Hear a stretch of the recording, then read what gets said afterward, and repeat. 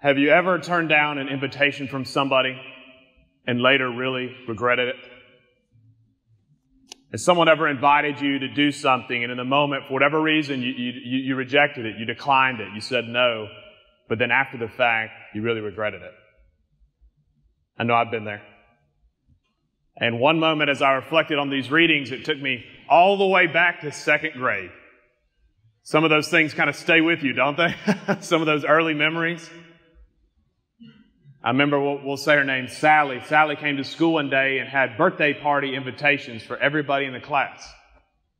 Everybody in the class got one and I got it and I'm thinking about, should I go to this party? And I'm thinking to myself, in my second grade mind, I said, well, Sally's maybe not quite as cool as me. I know there's a lot of other people in this class cooler than me for sure, so maybe I should consult with them. So I remember I went to this group of guys who seemed to be like the cool guys, and I said, hey, so what do y'all think about Sally's birthday party? And they said, dude, no way. I said, are you going to go? And then my insecure second grade self kind of kicked in, and I remember I just took the invitation and ripped it up and said, What does this look like? you all hate me now. it was bad. It was a bad move. And uh, I remember, sadly, caught a glimpse of this from across the, the class. Tears started coming. I was in the hall before too long getting chewed out by the teacher. Wrote out a conduct report that I had to go home and get signed by my parents so they knew what I had done with that invitation. It took me a week and a half to get that thing signed because I was so afraid to tell my parents what I had done. And finally, they threatened me with detention, and I finally got it signed. Apologized to Sally. It's amazing some of these things that can stick with us, but one of those things in that moment made me realize the consequence of disgracefully rejecting an invitation. And it also gets you to think about why we turn some invitations down. In my second grade self, I was afraid of not being cool. There's many layers of cool in our life, right? But I think it all comes from a fear of not being accepted on one level or another. And so you think in your own life you've been invited to do something, but because this person's personality is different, or maybe their social standing is different, or maybe their ethnicity or their race is different, or maybe their socioeconomic status is different than you, we hesitate to accept an invitation because we wonder, will I be accepted? There's a lot of reasons we turn down invitations. Another one I think many times is we're just too busy, right? You ever turn down an invitation because you're just too busy? Another reason I think we turn down some is we're afraid that a better invitation might come along. I think the hip term for that is FOMO. Have you heard this? fear of missing out. It's very hard to pin down young people today to commit to something two or three days in advance because like, text me the information, Father. I'll let you know. There might be something better that comes my way. I was just catching up with a buddy of mine from college, and we went on a study abroad to uh, Chile in Latin America. And we were reflecting as one of the few times in high school and college we didn't have cell phones. And we said it was a strange time because you had to make plans verbally in advance to do something. And so we'd finish class, and if you wanted to see somebody, you'd have to say, I'll meet you at this park at this time. And then you were kind of committed. Because if you didn't show up, that other person would just be sitting there without you. Now, I'm not saying after the last Mass, one of the students said, Well, Father, do we just have to accept every invitation that comes our way? And I'm not saying that you know, that's part of the art of life is figuring out, okay, what can I do and what can I not do? But it's worth considering what are our motivations and the invitations that we accept and decline. And even more so when we think about, are there invitations that God has given us that we've turned down for whatever reason? And these are invitations that are different that come in just our day to day life because when God invites us to do something, it's necessarily good for us. When He reaches out to us, it's necessarily because He wants to bless us. And every time God reaches out to us and invites us, He's leading us to one thing, and it's what the prophet Isaiah prophesies about in the first reading. he says there that on the mountain, the Lord of hosts will provide for all peoples rich foods and choice wines. On the mountain, the Lord of hosts will provide for all people rich foods and choice wines. He's talking about heaven.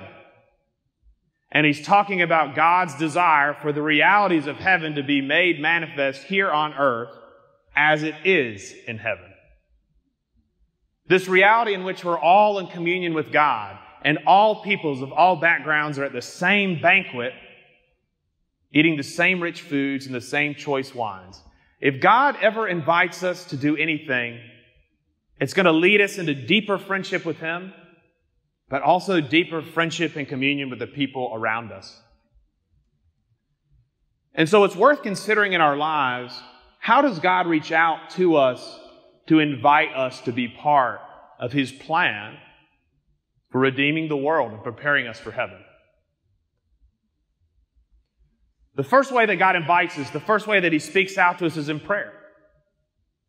He nudges us in those silent moments of prayer to do this or do that. I know in my own life a very powerful moment came. I was 15 years old. I was at a non-denominational summer camp. I was out in the woods praying. I was holding the Bible as I was encouraged to do. And all of a sudden, a thought popped into my mind that had never been there before. And it was an image of myself dressed like this, standing like this, behind an altar like that. I've been Catholic my whole life. I had altar served since third grade. I had never once thought about being a priest. But in that moment, a peace, a joy, an excitement washed over me that I had never known before. And deep down in my soul, I knew there was a sense of invitation that God was inviting me to be that. A peace came over me, an excitement came over me that lasted probably a good 60 seconds. And then all of a sudden my brain kicked into gear and I thought to myself, wait a minute. That means I'm never getting married. That means I'm not having kids. That means I'm wearing black every day in Alabama in the summer. 100 degrees, humidity. Ah! Went from the most sublime moment of my life to the most panicked and fear ridden moment of my life. And the fear that creeped into that moment, that invitation that was laid before me, I think is a fear we can all relate to many times when God speaks to us. And as God invites us to the banquet, where his own son is being married and there's rich food and choice wine, somehow we fear it will be totally lame. It'll be the most boring party we've ever been to. It will suck the joy out of our life if we really accept God's invitation in our life. And even though we believe God is good and He loves us, sometimes when He challenges us to consider something, whether it's big or small, we fear that it will rob us of our joy.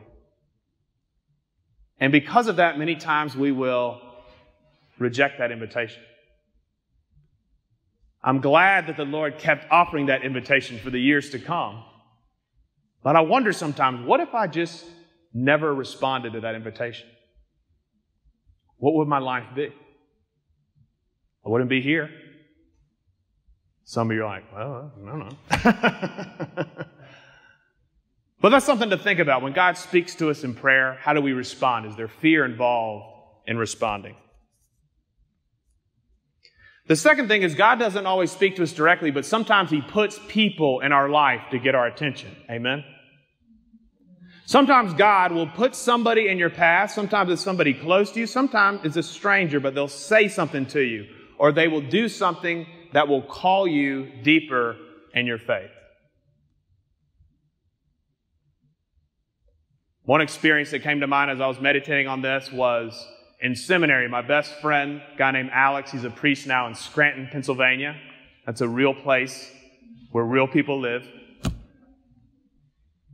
And one day I was sitting in his dorm room and I was venting to him because I'd gotten in student government for the seminary and I was lamenting to him that nobody was responding to my emails. Nobody was showing up to my meetings on time. Nobody was responding to my calls. And as I am lamenting all these things, he starts laughing and smirking at me, which made me even more mad. And finally, I stopped and I said, What is so funny about this? This is very important. He said, Vic, I hate to tell you, but you are what you hate. I said, Excuse me? He said, You are what you hate. I said, What do you mean? He said, Vic, I've been in seminary with you for five years. You have never once read an email sent out by the seminary. You have never once showed up for time for anything, and you never return people's calls. You are what you hate. I wanted to kill him. I wanted to punch him in the head, throw him off a cliff, and never talk to him again. Exactly the reaction of the servants who came to the people, invite them to the banquet. What did they do? they beat them, they killed them, they got rid of them. Because sometimes God puts somebody in our life to help call us deeper. But calling us deeper makes us realize where we are. And we don't always like what it looks like when somebody holds up a mirror in front of our face, do we? We want to break that mirror or get a new one. But God sends these people into our lives because He loves us, because He's calling us into deeper communion with Him and deeper communion with other people. And so to not be afraid when God sends somebody with a word for us. And finally, God doesn't always speak to us directly. He doesn't always send somebody to speak to us. But many times he speaks to us through the circumstances of our lives. We always have circumstances unfolding before us, and St. Paul says this about circumstances today.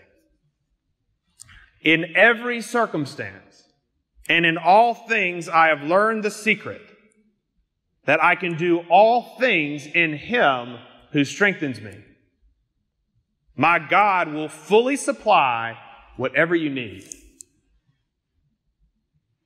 In every circumstance of our life, how aware are you that God is there with you? Loving you, walking with you, shepherding you.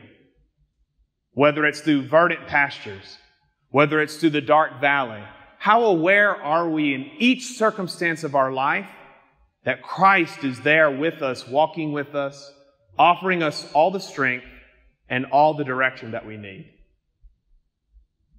I think many times we can just forget that He's there with us. And this is a central part of our faith. I'll tell one last story. I was in seminary. I was studying in Rome.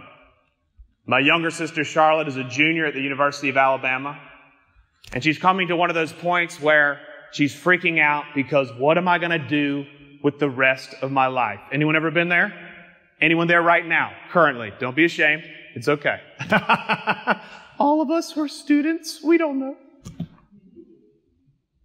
So we're having this conversation. And at some point I said, well, if you could do anything when you graduate, what would you do? What do you have a heart for? She thought about it. She said, if I could do anything, I would love to live in Latin America. I'm a Spanish major. I'd love to be really good at Spanish. I'd love to somehow live in some Catholic community with other people my age. And I'd love to do something with the poor so that I can grow in my faith and just have that experience. I don't even know what it would look like, but that's, that's what she came up with. I said, well, that's something. So we said goodbyes, we said a prayer, hung up. The very next day, I finished my classes, I walked into the cafeteria of the seminary. And as I walked into the cafeteria, there was a priest who had challenged us a couple weeks before. He said, You know, when you go into the cafeteria, there's always a tendency to just sit with the same group of people, your buddies. He said, But think about every time when you walk in the cafeteria, just sit with the first place that's open and ask the Holy Spirit to just help you to encounter somebody new. Make a new relationship. Be open to the things that God might want to do. So I walked there. I said, God, where do you want me to sit? And the first place I saw open was in the corner of the room right over here. There was one chair left. I sit down in the chair, and the guy sitting next to me was a priest from Colombia. And we start talking to one another. And I said, What brings you to Rome? He goes, Well, I'm here. I'm on my way to Chicago to serve as a priest, but I just came here from Chile. I said, Oh, I spent some time there in college.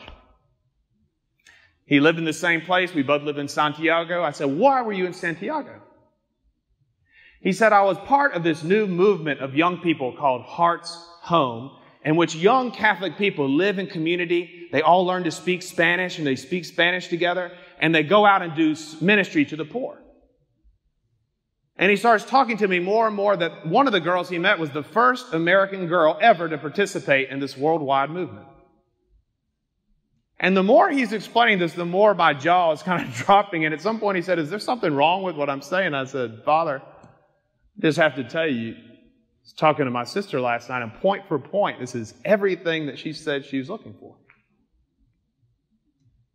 He gave me the contact information for this group. I gave it to my sister. She wrote it on a post it note. It sat in her dorm room for a year and a half, and finally she responded to that invitation.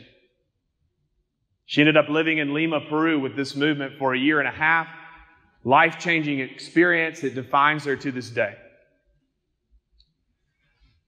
All of that happened because God revealed himself an invitation through the circumstances of our life. But the reason I was able to see it, the reason I was able to hear it was because of the advice of that priest of saying, open yourself up to the guidance of the Holy Spirit in every circumstance. And so my challenge for you today is you go through your days, one prayer you might not think to pray is, God, what do you want to do today? We tend to tell God what we want to do in our day, right? God, I'm going to do this, I want to do this, I want to do this, I want you to bless it all. But how often do we say to God, God, what do you want to do today? Where do you want me to be? Open my eyes to see the invitations that you lay before me today in my heart, and the people you put in my path, and the circumstances they unfold. Show me, God, where you want me to be today. Always mindful that He wants us to be on the mountain with God and with all peoples, eating the same rich foods, drinking the same choice wines, celebrating the love that God has created us with and the love that He calls us to share.